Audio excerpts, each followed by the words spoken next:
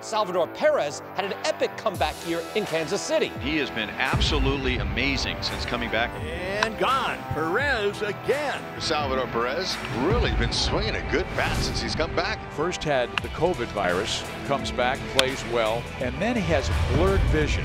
And he comes back, and he's been on fire. Perez hits one on the nose and blasts it out of here. The guy, he's hungry and he loves playing baseball.